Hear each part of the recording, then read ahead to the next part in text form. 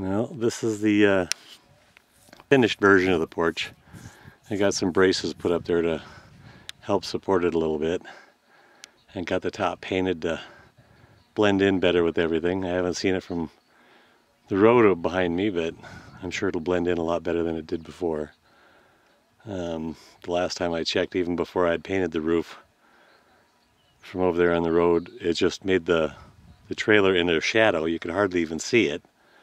And then the roof was thin, so it didn't look like very much at all. So I'm hoping with the painted it'll look like nothing from now on, but we'll find out.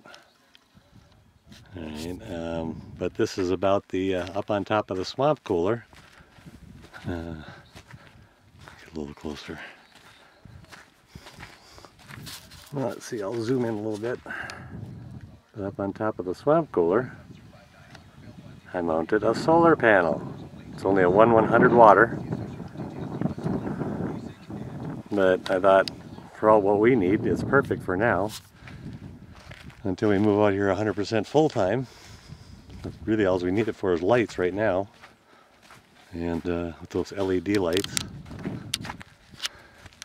Shit, they're only four and a half watts, I think, is what they suck, so hardly anything. Um,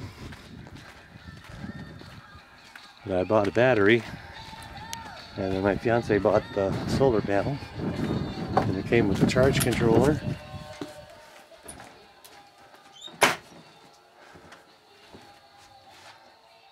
There it is.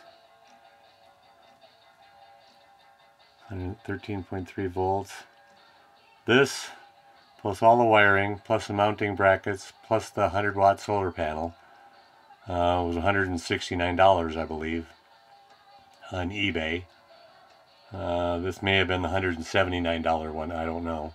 But this one comes with a digital charge controller, which I wanted, rather than one that just plugged in and had a light saying it was on. And see, it goes down to the battery and plugs into the inverter. Turn that on. Voila, we have electric light. so we got one here, we got one in the bathroom, uh, and then another one in the bedroom. That's why the extension cords are running down the hallway, and we'll figure out something better to do with that one of these days. But uh, yeah, we got solar on the property now. Charge controller and battery, inverter. I've had the inverter for years. Used to have that in my motorhome. And I said it was only $179 on eBay. Alright, take care. Bye.